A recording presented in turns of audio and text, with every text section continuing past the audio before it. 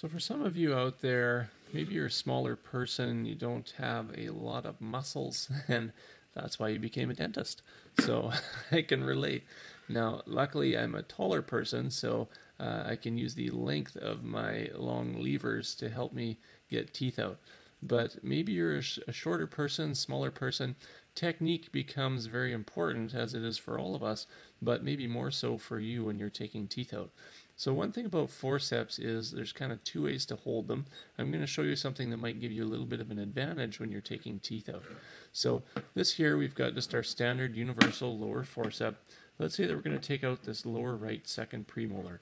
Now, you can hold this so that you're kind of on this underhand grasp, okay, and you're pinching next to that tooth and supporting the jaw, your assistant supporting the jaw, have a bite block in. You're going to be applying your pressures to this tooth right? And you want your arm tight to your body so that you're getting good use out of your muscles and good control.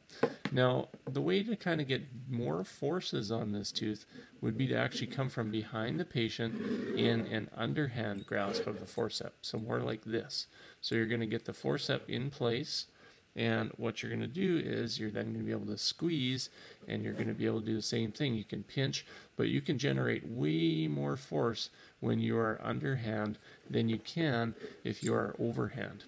So the overhand grip again is, is a good one. It's good for controlled forces, but you're not going to be able to generate quite as much as if you grab it from underneath. Now, you need to be aware if you are using these forces, you need to be, again, more in control of the patient, so make sure that you have them really well supported. You need to be sure that you're applying them in a controlled, slow uh, manner so that you're not uh, breaking teeth. So sometimes you'll apply more force with this underhand grasp, and it's too much, and you end up snapping off the crown of the tooth. Uh, so make sure that you're getting the feel for it. But it might help you if you're holding it this way to start to get out some teeth that maybe you had troubles with previously.